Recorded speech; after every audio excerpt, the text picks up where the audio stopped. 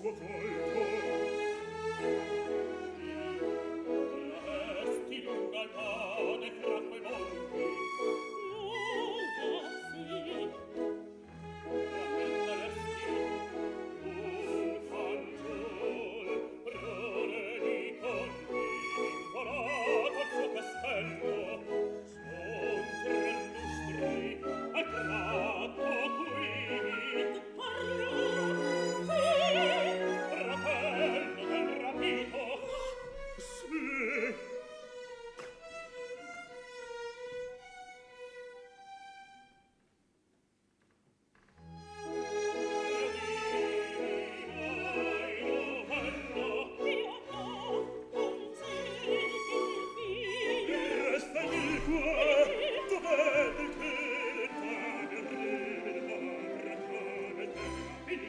adesso